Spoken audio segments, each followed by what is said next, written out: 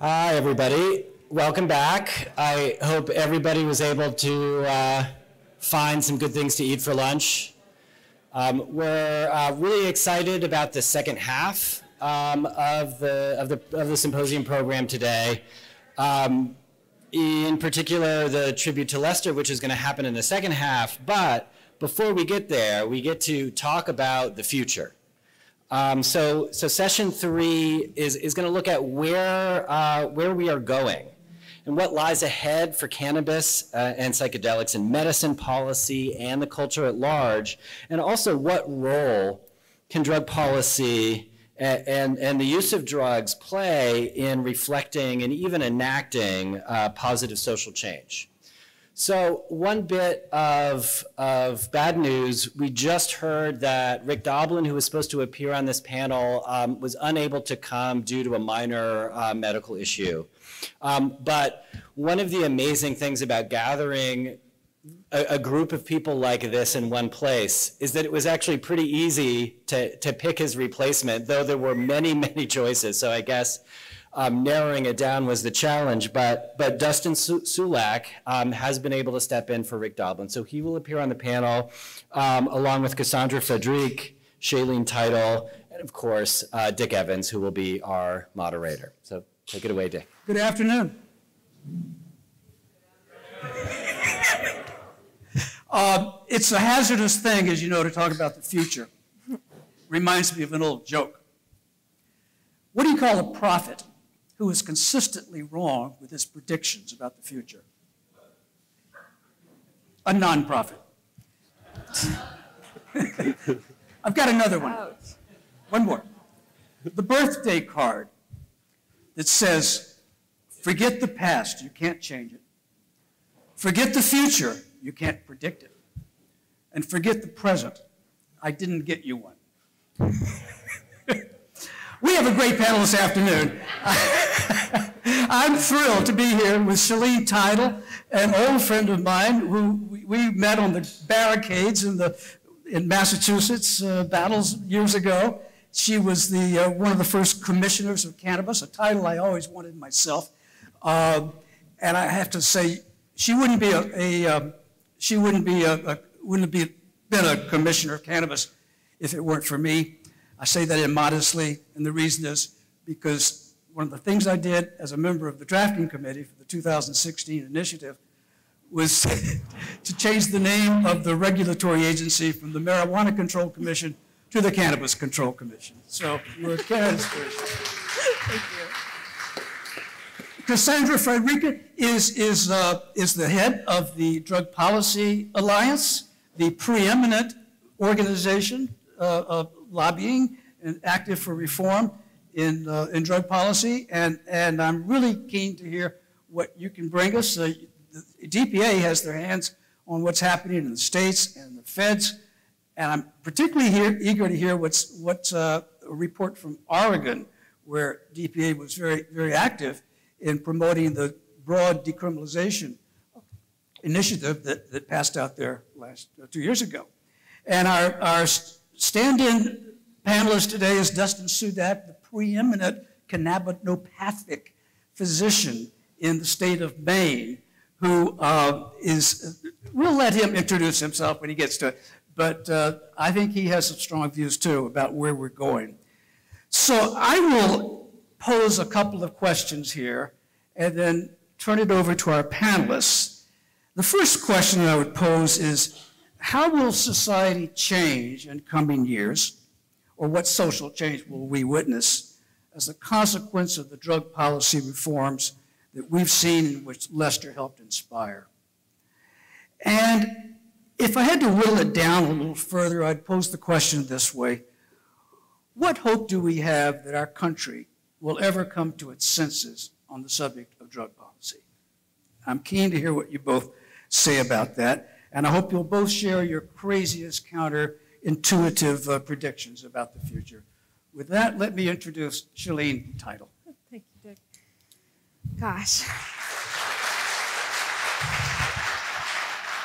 what hope do we have that our country will come to its senses? Um, that's a tough question, but I will say that today being especially a tough day, there is no room of people that I would rather be in than this one.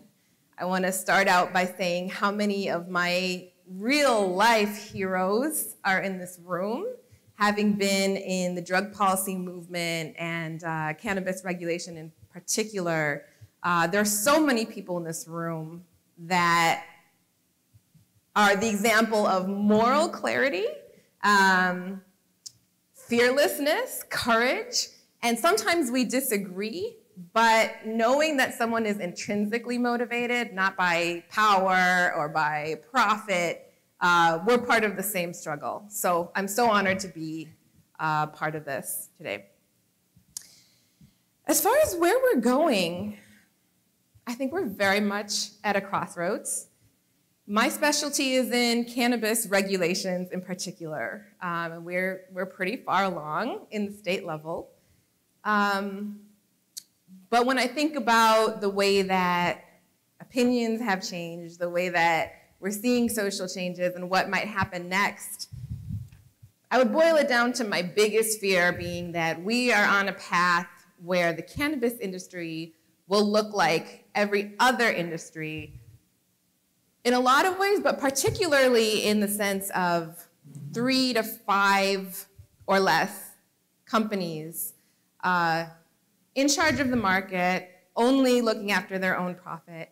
Um, and I'll just, uh, for this question, I'll, I'll, leave it at this. Uh, recently, when I saw the baby formula shortage, there was a headline um, in some stock magazine that said, babies are not able to get formula, comma, but profits look good for X, Y, and Z stock. And I really thought to myself, you know, especially knowing the way that people use cannabis um, and the similarities in terms of the necessity of a product and the particular product that you might need. Um, if we are on a path to look like the baby formula industry, I'd rather not go down it at all. I would rather just stop.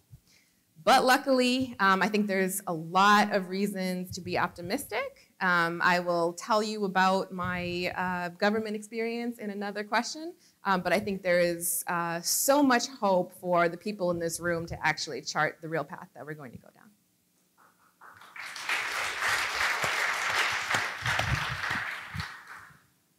Uh, let me ask uh, uh, Cassandra, what do you think? What are the chances that our nation will come to its senses on drug policy?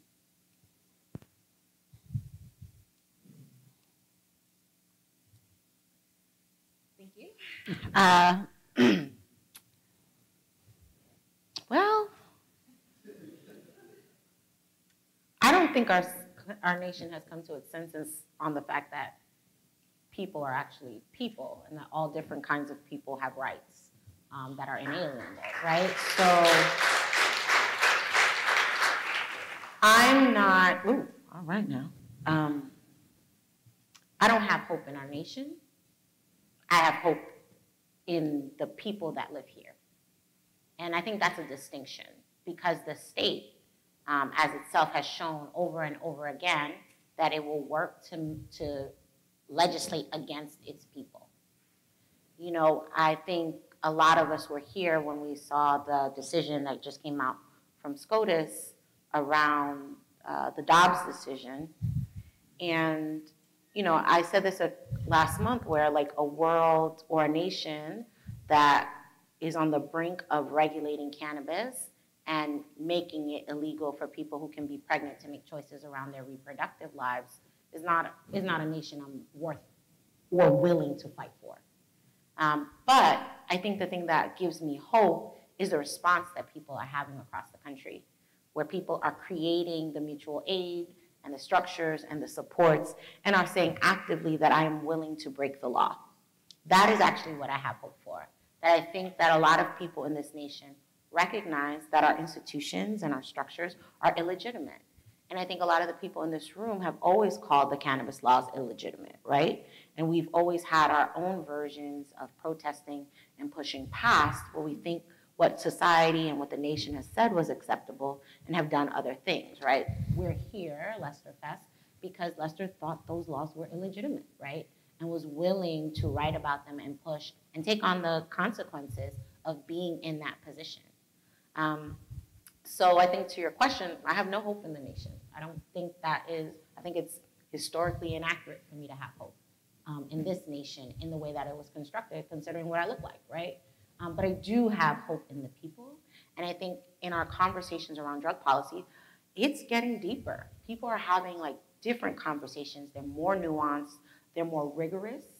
Um, and I think, you know, oftentimes as someone who works at Drug Policy Alliance that has come into the movement in the last decade, uh, you know, some of the things that newer activists are asking of the drug policy reform movement aren't necessarily things people asked of the drug policy reform movement 30 years ago.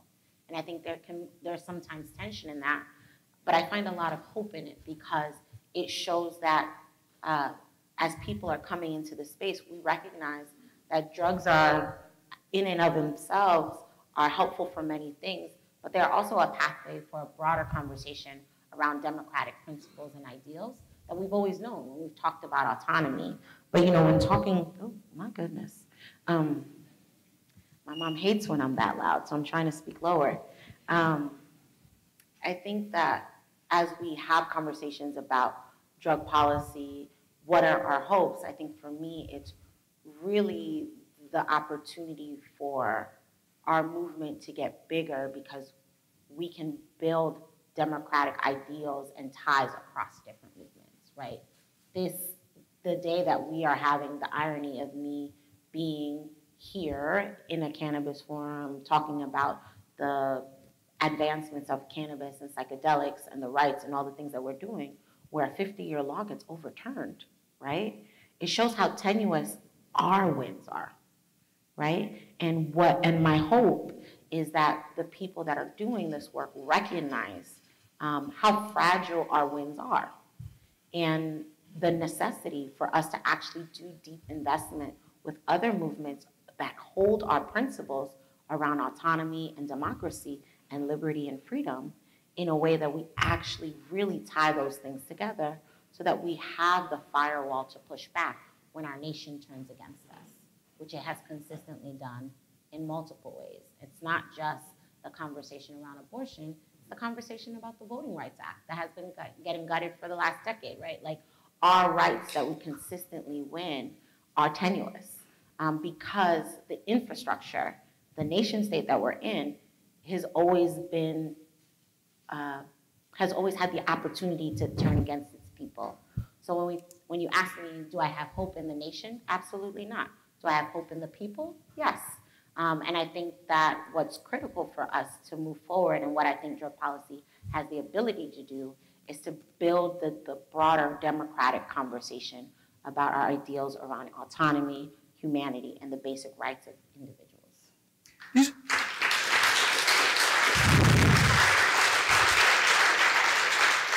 can you imagine? Can you imagine any single event that's going to trigger some major change in federal policy? What is it, Shaleen? Um, well, you know what? No, this is a conversation. All right, all right. Tell us, talk a bit, a bit, Shaleen, about the paths of legalization, federal legalization, if you can, okay. and uh, what might that triggering event be? Okay. Um, can I go on for a minute? I'll shut up after. Okay. Okay. You're, you're on. I want to work out this, this thought. So, um, okay, let me start by saying that um, when I was a commissioner here in Massachusetts for three years, it feels like I was sent on like aliens abducted me and took me to this other planet, and then like I came back here, and now I'm like settled in, and I can tell you all what it was like on this other planet. the most important thing that I can convey is that it's really hard to be a policymaker because you are incentivized to do the least, to hope the least, to give people the least hope. And if you try, um, you get a lot of pushback inside and outside of where you are. But the times that it's really helpful is when people who are directly impacted come and tell you their problems and they propose solutions. I could give you a lot of examples from when that actually went well for us. So keeping that in mind, Um, I don't know a lot about how Congress works or how federal policy works, but I think um, there are a lot of people in this space right now clamoring that also don't know, so we're all kind of in it together. I think the big triggering event is going to be when interstate commerce is allowed. And not just when, but how. And the thought I would like to um, unwrap is uh, another absolutely terrible Supreme Court decision day was my first year of law school when I was in con law when Gonzales v. Raich came out. And as I'm sure uh, most people know, you know, that confirmed that Congress has a right to criminalize patients. In this case, a lot of you might know Angel Raich. I've met her. She has an inoperable brain tumor, right? She was getting the medication from local California farmers for free, and it was unquestionably legal under state and local law. So not only was there no interstate commerce, there wasn't even any commerce. She was getting it for free. And yet, uh, as many of us know, the decision said that Congress's power to regulate interstate commerce is so vast that they could reach in and criminalize Angel Raich. So, all of these years later, um, we have the chance to think about how Congress could use that power for good, right? And uh, on most days, all you really hear is stop the delays, legalize cannabis, and let it just move ahead, right? Let, let Amazon and Altria figure it out. Let them do whatever they want. I guarantee you they have lawyers that are working on every possible detail.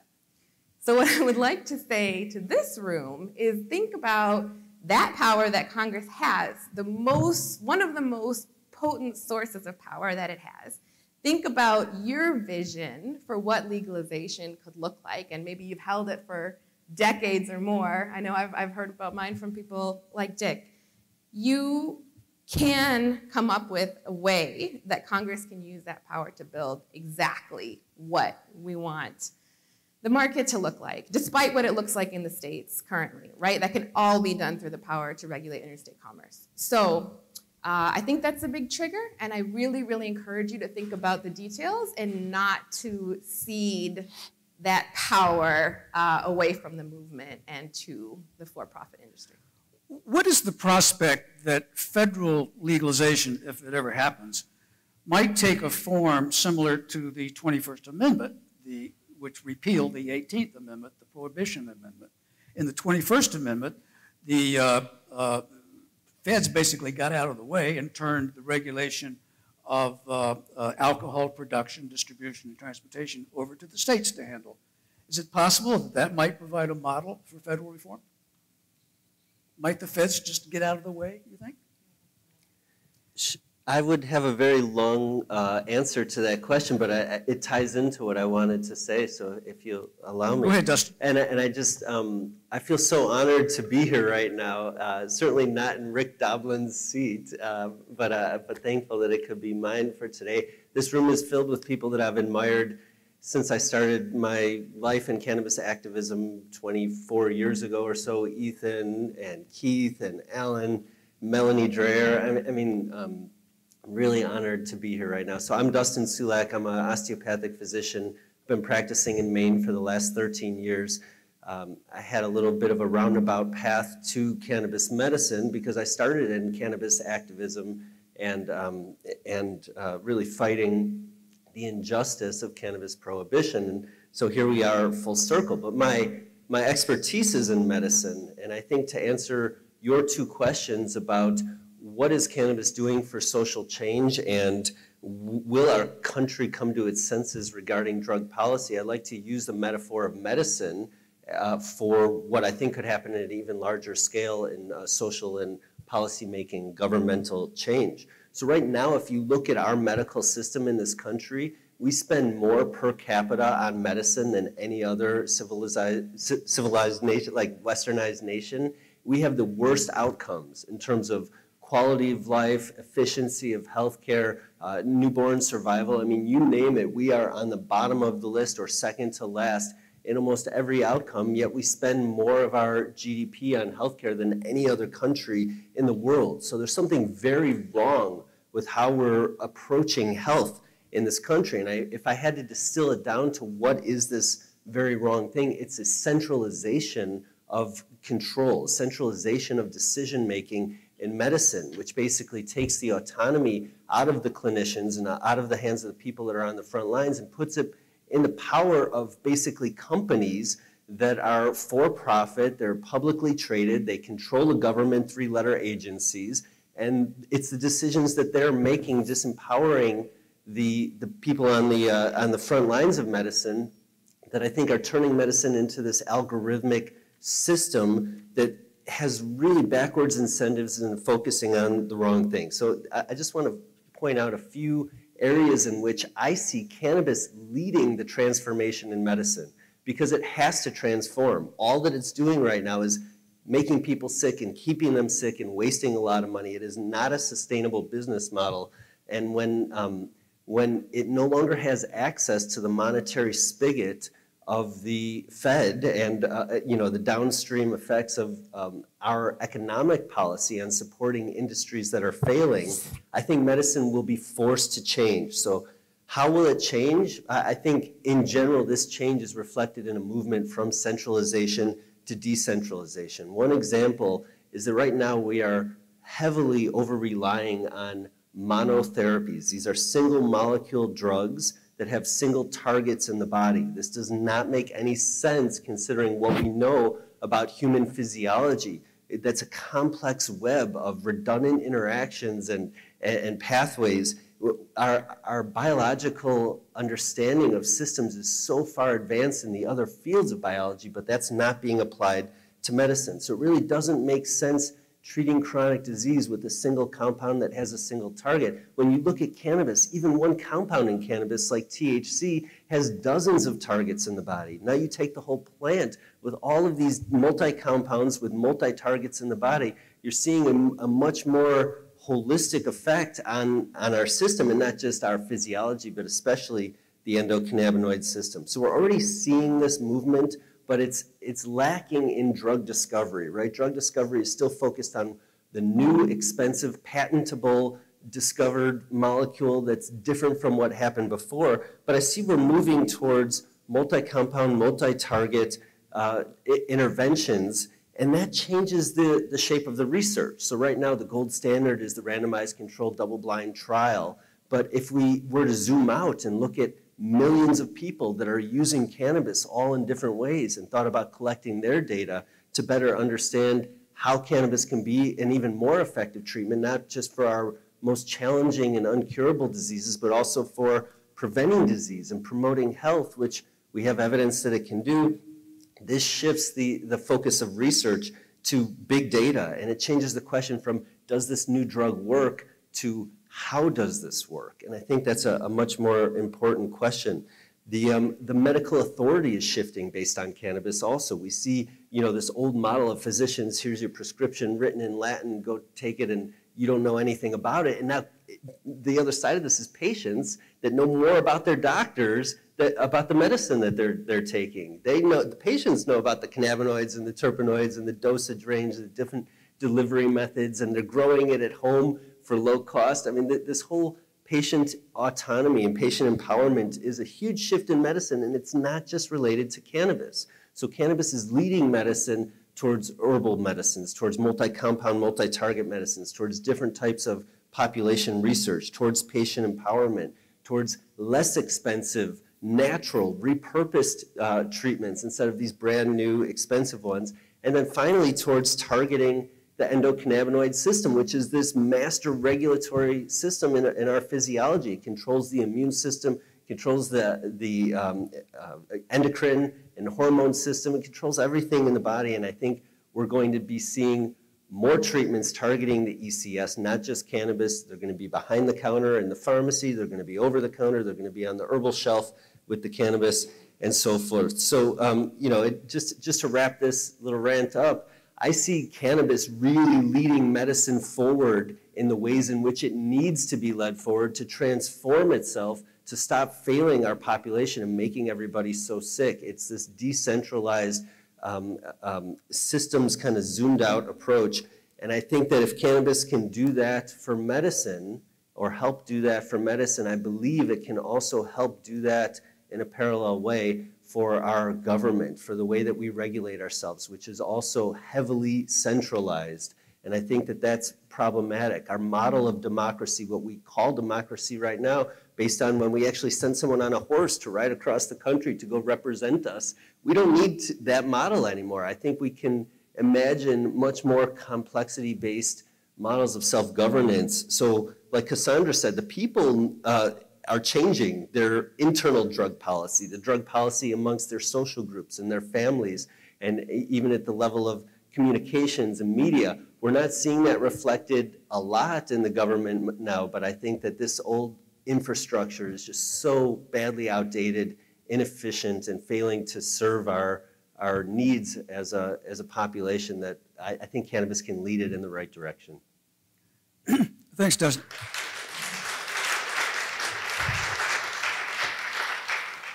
Let's come back to the question of the future of marijuana policy. Um, I'm interested in what's going on in Oregon. Uh, well, that's more than marijuana. But let's just talk about marijuana for a minute. In Massachusetts, we have, we were the, what, the fifth or sixth state to legalize, right? First on the East Coast. And we adopted what our friend Bill Downing calls the plutonium model, meaning we're regulating marijuana almost as if it were plutonium. We've got 200 pages of regulations in Massachusetts, and I think 300 pages in New York. Um, and I think the statute that was passed in Virginia last year was like 300 pages. I can't imagine. Why is regulation so complicated? Why do we regulate marijuana like plutonium? I mean, in my view, there are only two reasons to regulate marijuana. One is to keep it out of the hands of the children, out, out of the hands of children, and one is to protect the revenue. And might add a third reason to that, and that is to, to keep uh, uh, large monopolies from taking over. Uh, and that's legitimate. How, when are we going to get past this plutonium model? That's the question I have for the panel. Do you have any opti optimism that we might? Will some state realize that we don't need to regulate it that way? Yeah, um, we're, we're, definitely, no question, we're going to get past the plutonium model. Um, I do think, again, it could go either the oligopoly route or it could go the small business route, but either way, we're going to get past it. Um, I think it's going to take a little bit of patience because honestly, regulations are a lot more complicated than we want them to be. Uh, and all of us in the legalization movement, um, we can't really abandon that question. You know, you can't say legalize, work to legalize, and then it, once it's done, you know, pretend like it's not our problem anymore. We have to stay involved, and we should stay involved. Um, it also takes a little bit of patience, uh, and I have a Lester story about that. Thanks to you, Dick, when you introduced me to him. Uh, that was very early on in my term, and uh, we had I had put forth a social consumption model that I thought was great. It was very progressive. It would have allowed um, any small business to incorporate marijuana use into uh, its business, massage studios, uh, yoga studios, theaters, etc., and uh, restaurants. Um, it, was, it was a lot. It was trying to do a lot at one time. And that day, it had been uh, pushed back um, by the governor, and I got to talk to Lester for the first time, and I was so mad, you know, and I was like trying to explain it, and he was like, I'm, I'm sorry, what happened? And we're sort of explaining it, and uh, he laughed with such joy. I don't want to say laughed at me, but his eyes were definitely sparkling, and we were all laughing. And it was this big picture moment of like, okay, we are not going to get all of that immediately in one day, right? And I think that we have to stop, do, do big, big, big picture things like come to these events and recognize that. But also keep talking about solutions and keep talking about details because it's not going to happen magically, right? If we want social consumption and cafes, we have to answer all of those questions, right? Who's going to regulate the food? Who's going to regulate the blah, blah, blah. Like it would take the whole hour. But we have to like really recognize um, that it is in fact difficult and it's not just a bunch of dumb regulators overcomplicating things. You sure? little, little. Okay. Um, Go ahead, Cassandra. Yeah, I mean, I'd also add that uh, our regulations are also um, largely influenced by fear still, right? Yes. Um, people are not regulating cannabis because like they're like this makes sense, right? You're also being regulated by people who fear the regulation of cannabis. And so a lot of our regulations are also steeped in the propaganda around public safety, right? And so, you know, I think we see how far we've come in disrupting the stigma and the, the phobia around drugs based on the tenor of how the conversation regulations is created, right? And I'm not saying that our regu- that all regulators are coming from that public safety thing, but even our mo- even the people that we put in place that are people, they have to contend with the fear and the stigma and the miseducation of other regulators and other like government infrastructures that are still operating from that place.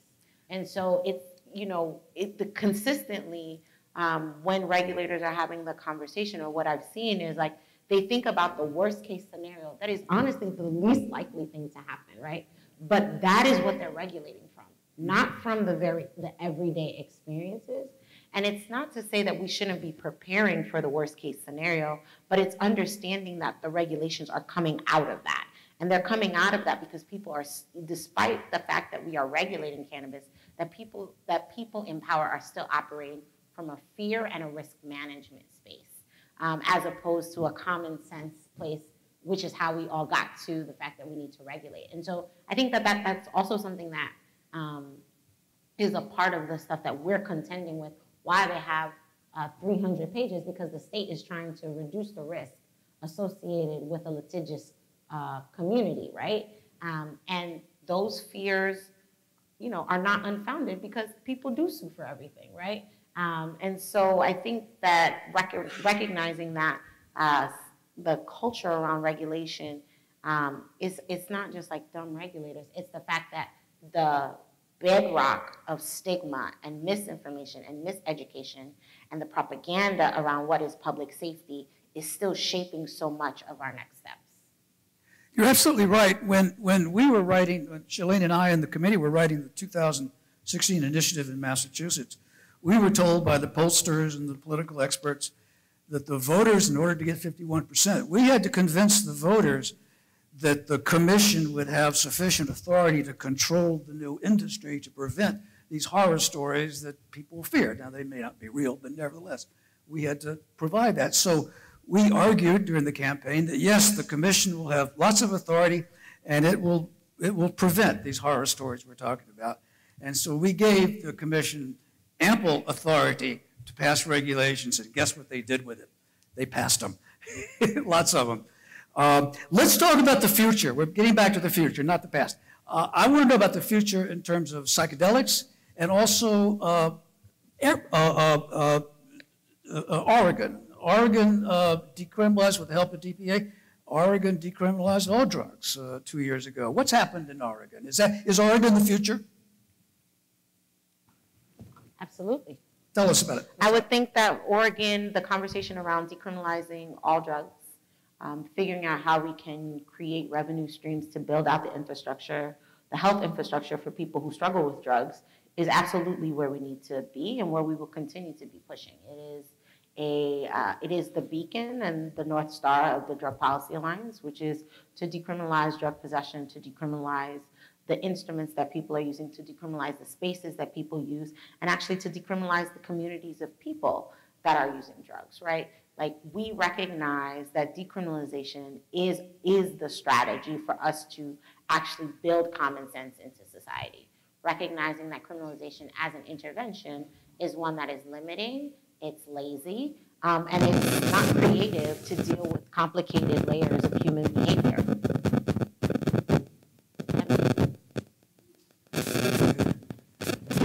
Is that the DEA? Our meeting is at four. Can I make, Sure. So, yeah, just in response to um, something you said about regulation, you know, I think a lot of us watched cannabis move from the world of criminalization into regulation and recognizing this kind of skipping the decrim uh, stage or endpoint. Uh, you know, I think what, learning that lesson from cannabis, what I'm seeing now in Maine with our efforts to uh, change the policy about psychedelic medicines is this real uh, emphasis on decriminalization because what, what can regulation do? You know, you mentioned, well, regulation is to keep it away from kids. I would challenge that. I don't think regulation keeps it away from kids at, at all. It didn't keep it away from me. And, you know, I, I had this thought when I was 15 and I realized I had been lied to about cannabis. What else are they lying to me about? And it really started getting me to ask these questions. I think a society that has a healthy relationship with a strong plant medicine will develop that healthy relationship through the mechanisms of a complex adaptive system. And whenever you try to remove that decision making from that complex system and put it in the hands of the few regulators that think they can write a page or 200 pages of rules that's going to somehow set up this healthy relationship, this safe, healthy relationship with this plant, it's, it's a fool's uh, errand. I, I really don't think that it's possible. What we see in Maine uh, because we did not have any efforts to keep this away from children. We, we expanded our medical law in 2009, treating patients and treating families. The, the kids are much less interested in cannabis if their parents are using it openly and not hiding it from them. This pathological lying that parents do to their kids about cannabis is the very thing that makes them go try it in a dangerous way before they're ready for it. And um, you know, we have been disconnected from this vertical transmission of wisdom on how to use these substances for some generations now due to the criminalization and the illegality. And of course, there's going to be, to some extent, the pendulum swinging maybe a little bit the other way when we kind of rip off the band aid and decriminalize. And I think there will be opportunities to attenuate some of the harm uh, from these substances becoming more available to young people. But I certainly don't think that regulation is going to keep the young people safe. I think it's going to just confuse the whole the whole thing. Um, so, well, that, that's pretty much what I wanted to say about regulation. And I'm uh, very open, just as a side note, to this to hear what is happening in other states with the move to uh, decriminalize the psychedelics and just kind of plants and fungi and animals in general, you know, things in nature. Um, but I, I, think that we're going to see more success if we focus on the decrim compared to the regulation. Well, you know, I want to be super clear about Oregon in that, yes, it decriminalized um, and tried to set up like a regulatory medicinal um, setup for psychedelics what I'm saying is that, and I agree with a lot of the things that you've said, what I'm offering is that the institution of prohibition, of all drug prohibition, is over. Like, we literally have to take the institution of prohibition of all drugs off the table. And I, and I understand because you name, right, cannabis and psychedelics as the things that we have to move forward, but heroin and LSD and crack and cocaine all have to be decriminalized. There is no future in which a regulate a, a, a, a conscious society regulates some drugs and decriminalizes some drugs and not others. It is a fool's errand. It is irresponsible. Um, and it is a waste of the billions of dollars of resources that are being poured into cannabis and psychedelics. Because there are people that are literally having having to deal with the consequences of a fear-based model associated with plants and designer drugs, right? It's not just, there's also this fallacy that plant medicine is the error and the pinnacle of enlightenment. Like, that is bullshit.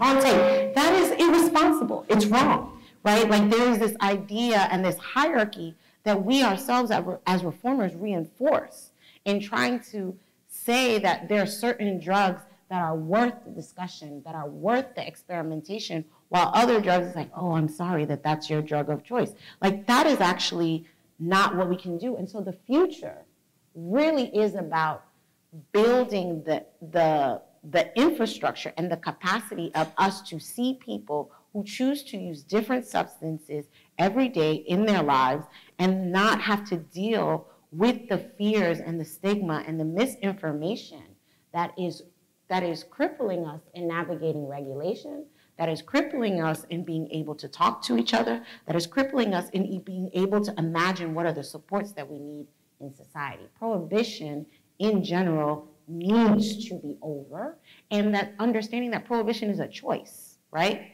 It's, it's not, um, you know, oftentimes we say, you know, prohibition, you know, that's how they thought they would regulate drugs, but that regulation is not really working, and we actually need to work for the regulation of all drugs. You know, prohibition is a choice, it is a market, right? Prohibition is a market, right? And regulation, the conversation of regulation is also a market. And I think the conversation that we need to have is like, what is what is the structure that we actually need to do that reinforces people's liberty and freedoms, right?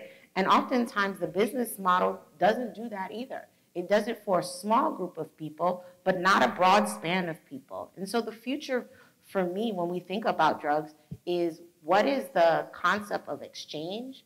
What is the concept of bartering? What are the different economic models that we should be able to explore? Why should we concede that regulation means big business, right? Why should we concede that everything, you know, everything that is worth anything has to be a plant? Like, I think we have the opportunity to really expand what progress looks like, um, and that we need to rigorously interrogate some of the principles that we've held, some of the um, communication strategies that we've held as well, because we're not actually going to get any further if we um, commit to an idea that we have to convince the scaredest person in the room that we are right.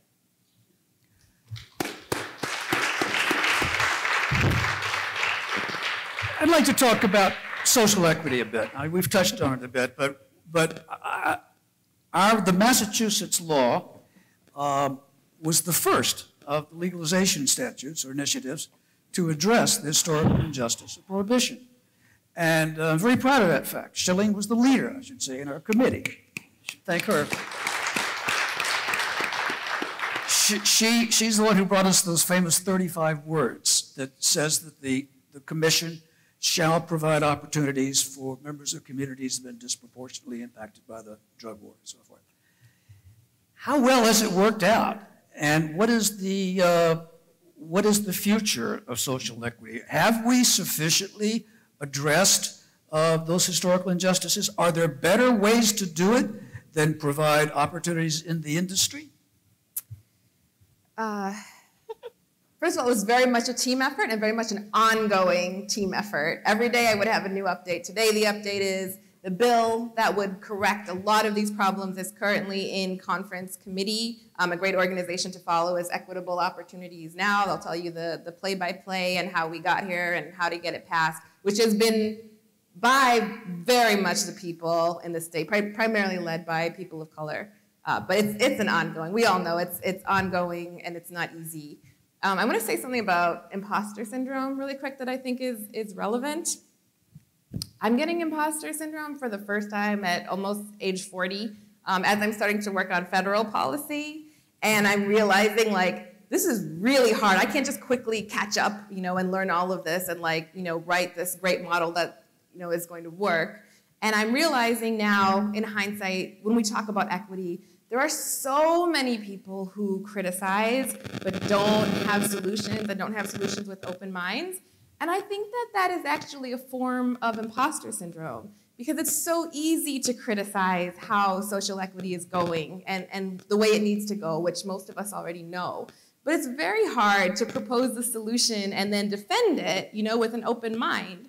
And so what I would really encourage everyone in this room to do if you care about equity is to First of all, um, learn about it, by the way. I have a paper called, it's a free, uh, open to the public paper by the Ohio State University Drug Enforcement and Policy Center about how to incorporate social equity into cannabis laws, and then a companion paper about preventing monopolies. Uh, but what I would encourage you to do is learn as much as you can, and then please, please propose solutions because the ones that do kind of work so far um, the progress that we've made with delivery, the progress where we've made very strict regulations, a bit less strict for small businesses, those did all come from people, you know, who work on these issues, not lawyers, not lobbyists. Um, and, and I'll end with this. I have been lobbied by the best paid lobbyists in the state. I saw how they work. They get so much money. They are not any smarter than the legalization movement. I can tell you that for a fact. So please don't have imposter syndrome. Please think of solutions and please bring them up openly, knowing that they may not be perfect, but we can workshop them among our community. We can try that, and that's the only way that we'll see positive change. What, what, yeah. What I, what I'd offer about the conversation around social equity, and Shaleen and I talked about this last night, um, is that I think this goes back to one of the first things that I said, which is that uh, taking down prohibition and creating a different response to drugs gives us the opportunity to have broader responses to bigger societal issues because of the way drugs were used uh, to play kind of like the canary in the coal mine about our society's broader issues on people. Drug policy itself will not solve racism. It won't, right? And I think that in our quest to address the disproportionate impact of the enforcement, the racial discrimination um, that has occurred with drugs, we have um, in turn tried to put as if uh, legalizing cannabis or giving someone a license will heal centuries worth of racial discrimination and the subjugation of people. And I think that that has set us up for a narrative and a story and reputational failure. And when we think about the conversation about social equity, oftentimes when it is critiqued um, and people push back against me or our allies about social equity and how it's not working in cannabis, I often ask the person that is pushing back on me, where, are, where else are they working on social equity? Are you only working on social equity when it comes to cannabis? But are you also investing in the humanity and the equity of the people that have been disproportionately impacted by drug laws in other version, in other places of their lives? Are you having conversations about policing? Are you having conversations about economic justice? Are you having conversations about education, um, the, the educational wealth, uh, the educational gap? Are you having conversations about the wealth gap? Where are you committed to equity? Or are you only committed to talking about how cannabis hasn't solved institutional, economic, and racial injustice? If that is the only marker in which that you measure equity, then I actually think that you are not an ally and a disruptor and a dissenter and someone that is trying to destabilize the broader experiment that we're trying to use drug policy to build. And so when we have conversations about social equity, it's understanding that the issues that are happening in cannabis around equity did not start with cannabis. It is that we're using cannabis as a way to build a broader conversation and build different strategies, right? It goes back to Shaleen's point about if legalization means that the cannabis industry will look like every under, other industry in the world, that maybe we shouldn't do it. Like that is a real conversation. And for me, that's also connected to equity, right? Which is like if we are talking about making sure that people who have gotten um, impact, discriminated against through this process of prohibition, that they don't have the same space. It's recognizing that it's not just through regulations that we're actually going to reach racial equity, right? It's that it's through other issues that have to be acting in concert for us to get to a place where these policies are actually viable and actually able to survive and develop and thrive. That broader level of commitment is the question that I ask for us and is a future question about how are drug policy reformers showing up in the broader quest for humanity of people that are disproportionately impacted by our drug laws. Questions, comments about the future?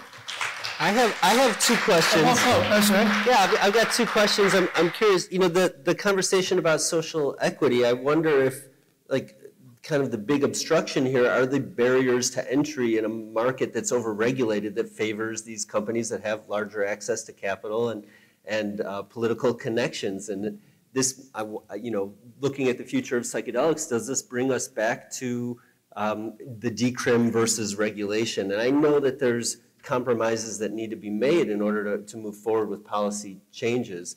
But I, I see if there was a level playing field and less barriers to entry, like we saw in Maine, uh, you know, with our small population, something like three and a half or 4,000 uh, licensed cannabis producers because it's $300 to get that license to be a, a certified caregiver. Like that low barrier to entry where then patients who are growing for themselves. Now they grow a little extra and they can start growing for somebody else, you know, and, and, and grow uh, a business slowly and organically in that way. So uh, back to that decrim. The, the one question that I really have about the future though, this has been most important to me and I don't know the answer.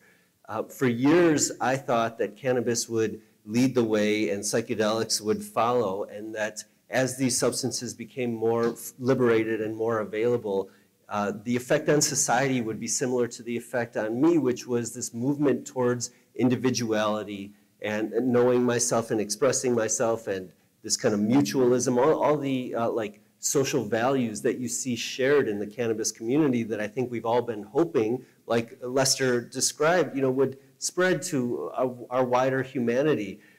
Now I'm wondering, with the advanced technology in propaganda with this more effective propaganda machine than we've ever seen, does the availability of cannabis and even more neuroplastic agents like the psychedelics make a population more susceptible to the mind control of those that have power and maybe moving not in the direction where I expect, expected it to move? And I know that's a, a broad question, but I, I think it's an important one for us to consider. Who's got a comment about the future? Peter.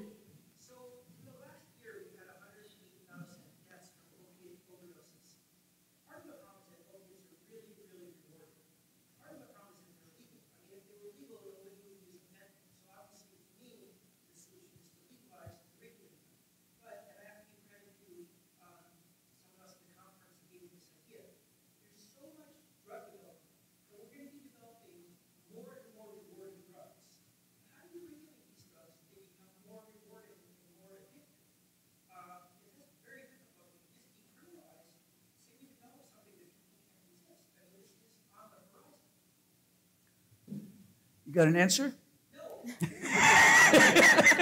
it's a, it's a, I mean, humans are constantly finding ourselves in a novel context that's so divergent from the one our species evolved in, and we have to use our intelligence and all the resources we can to cope with these unique challenges that are emerging. Like super rewarding substances, whether they're legal or illegal, are, are a great example. And I, again, I don't think that a government's regulation is going to fix that problem, but we're going to need some kind of a an attempt to address that problem. Uh, yeah, go ahead. Go ahead. Uh, I'm thinking of one of my moral compasses. Cassandra's one, Carl Hart's one, you're one. Uh, there's a lot more. Peter's one. I could go on all day. But the one I'm thinking of right now is the Transform Drug Policy Foundation, which is a think tank based in London. And they wrote a book about how the, the blueprint for legal and regulated drugs decades or more ago. Um, so a line in it that uh, really resonated with me was that if we end prohibition but give control to a small number of corporations that are uh, that are motivated only by profit, it's as bad or depending on the details, worse. And it's that question, I think that really highlights it because rewarding, yes, addictive, yes, right? They're both they're both true. And when we're talking about intoxicating substances, substances that we love, that make our lives better, um, we still have a really serious responsibility to make sure that uh, they're not going to be manipulated for profit. Mm -hmm. Comment? Question? Carl? That's not Carl. Oh my. No, go ahead, go ahead.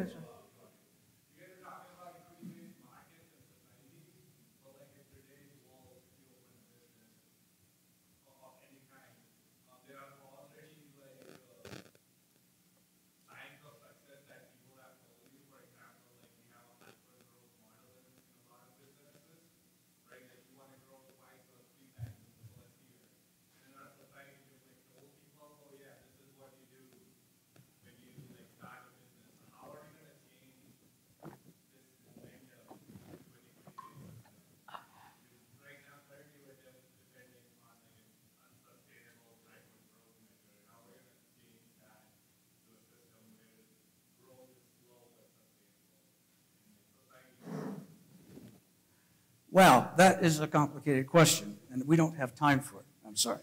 Unless someone's got a short answer, short response. I just wonder if the free market and the decentralized complexity of, of the marketplace solves those things over time when the regulators start, stop messing with them. I just wanna- Yeah, go no, no, no, no, no. You go. No, go ahead, go ahead. Real quickly, I just wanted to say that um, Maine has done a lot of things, right? Because I didn't get a chance to say that. Yeah, I completely agree when it comes to like keeping barriers low. Um, Maine and Oklahoma are both states that we can look at, and I think that when we have open competition, that solves a lot of the other problems we've been talking about. So those are the states to look at. Yeah. Thank you all, thank you panelists. Great job.